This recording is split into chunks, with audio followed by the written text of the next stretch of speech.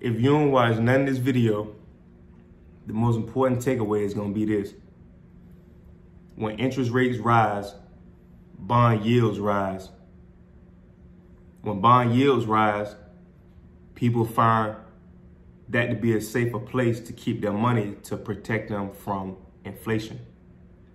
If inflation is sitting at 2% a year and you got bond rates at 1%, nobody's gonna buy bonds. Everybody gonna dump their money into the stock market.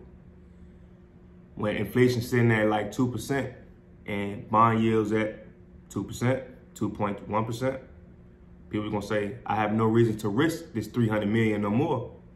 I found a safer way to keep up with inflation. You got 500 million, you're not gonna throw the, all that into the stock market.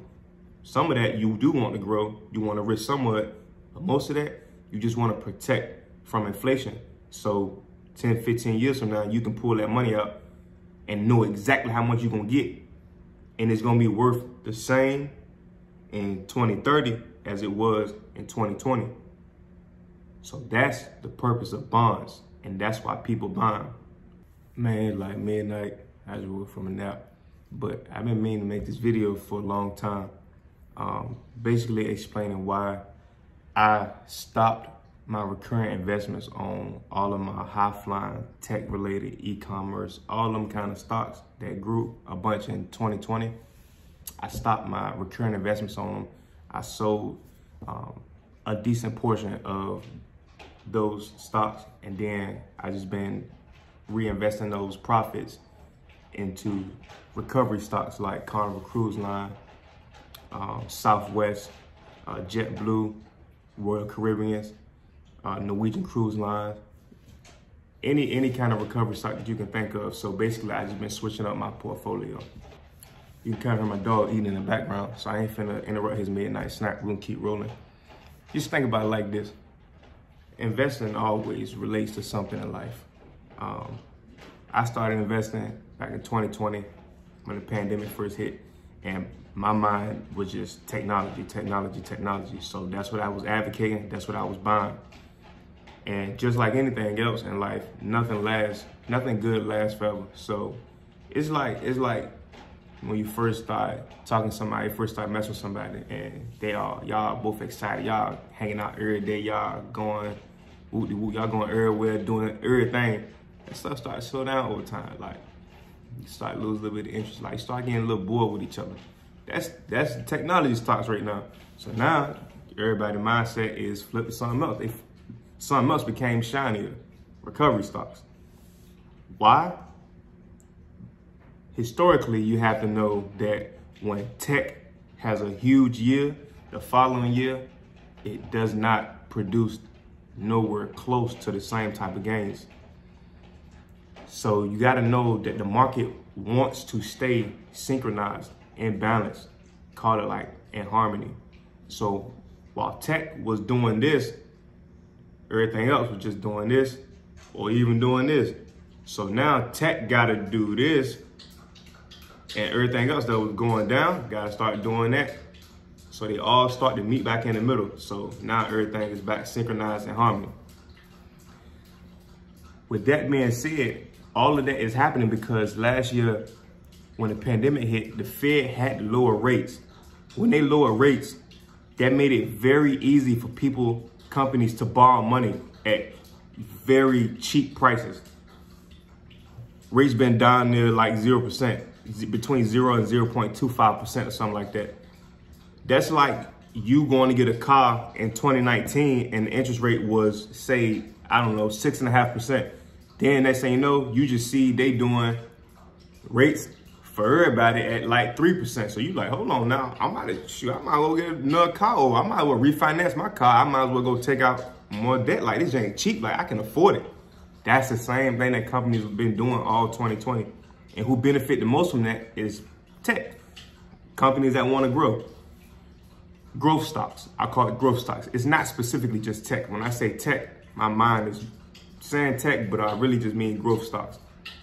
So when rates is low like that, the bond yields went very low. You always hear about our grandparents buying bonds and stuff. Bonds is a guaranteed way to get a fixed amount of interest on the money that you invest or buy bonds with. So if I go buy a bond, if I'd have bought a bond, say like last year at one point the rate was like 1.4%, why would I go invest?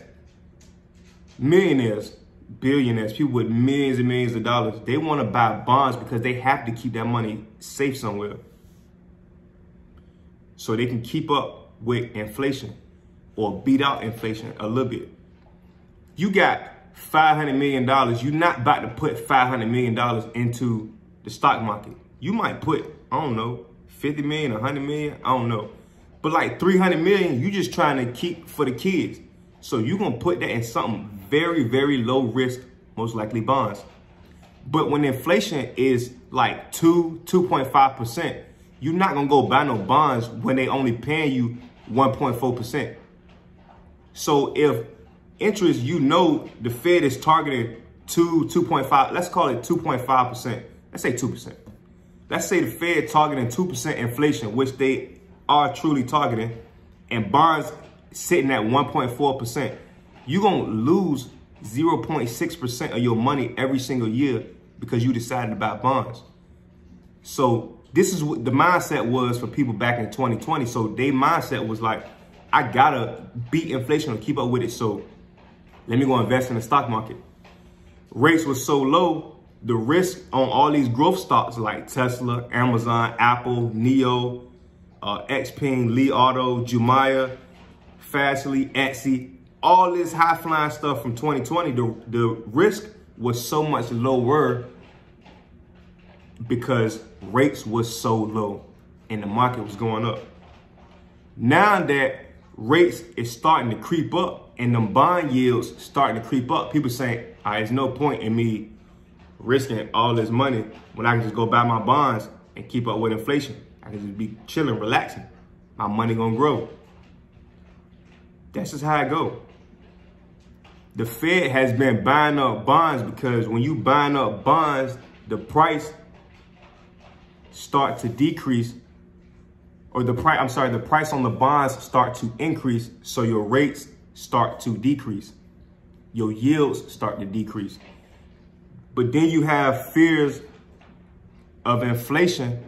Inflation has been rising.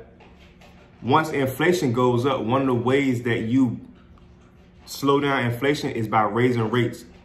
When you raise rates, that has a direct effect on bond yields. Bond yields start to rise. So that's just how it's been going. And people fearing that the Fed can't control inflation, that they can't control rates, so that's just the market. And that's why I've been switching up my portfolio.